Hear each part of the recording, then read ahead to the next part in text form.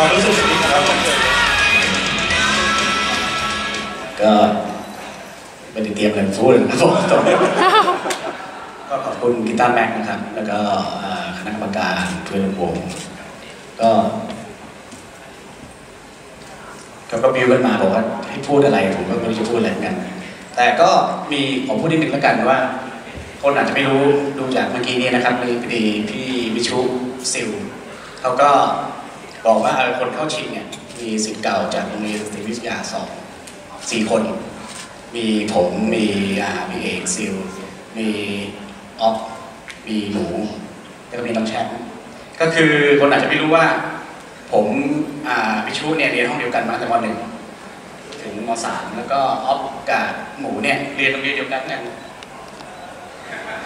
ออฟเนี่ยเมื่อก่อนเด็กๆเขาเรียกว่าไอ้พูนยังไงพี่ ชื่อพูนซักอ่าครับเขาเรียกว่าไอ้พูนอยู่คนละห้องกับผม ก็เล่นดนตรีมาด้วยกัน ก็เห็นถือกีตาร์คนละตัวไปนั่งริมระเบียงอะไรเงี้ยครับก็ไม่ได้ว่าวันหนึ่งเราก็ดนตรีจะพาเรามาไกลถึงขนาดนี้กันก็ขอบคุณครับ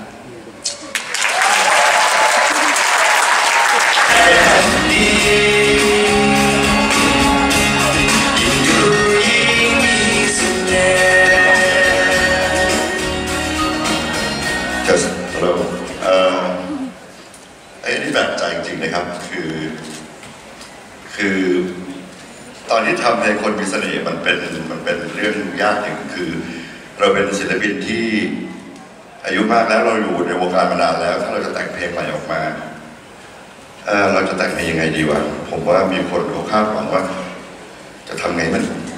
ดูยากๆหรือจะทำไงให้มันดู มีความรู้ทำไงให้มันดูเท่แล้วก็ถามตัวเองว่า อยากแต่งเพลงยังไง ตัวเองอยากตอบตัวเองว่าอยากแต่งเพลงให้มันง่ายที่สุดนะครับ แล้วแล้วการแต่งเพลงที่ให้มันง่ายที่สุดนี่มันก็ มันก็มีความยากของมันนะครับ คือเราต้อง เราต้องกำจัดหัวโขนอะไรทั้งสิ้นไปว่าเราเป็นศิลปินที่อยู่มานานแล้ว คือคือพี่รู้สึกว่าถ้าพี่แต่งเพลงที่ง่ายที่สุดแล้ว แล้วมีความสุขแล้ว คนน่าจะรับรู้ความสุขอันนั้นได้ง่ายเหมือนกันนะครับ แล้วพี่ก็เลยแปลกใจว่า แต่มีคนเห็นว่ามัน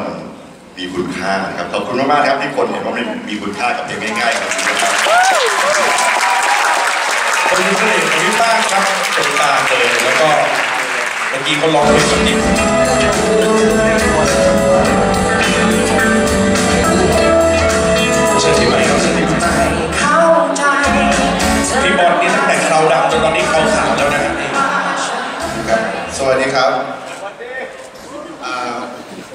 คุณพี่ๆทุกคนนะครับ ที่โหวตให้เพลงนี้ แล้วก็อันนี้เป็นวันแรกของผมอ่าดีใจมากครับผมแล้วก็ขอบคุณพี่บอลนะครับคุณป้าที่ให้โอกาสผมมาอ่าเปิดดิวให้ตอนนี้นะครับ ขอบคุณครับเชิญด้านหน้าครับเชิญด้านหน้าครับเชิญด้านหน้าเล่นชิงรางวัลแบบอยากได้กีตาร์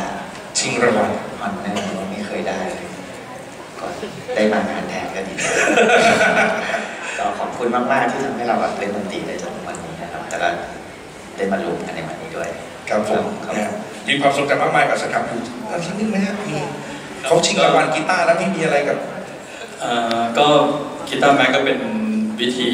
เรียนรู้การเล่นกีตาร์ที่ง่ายแล้วก็เอ่อสามารถเข้าใจได้ง่ายก็เอ่อเป็นหนังสือเล่มหนึ่งที่ทำให้เรารู้จัก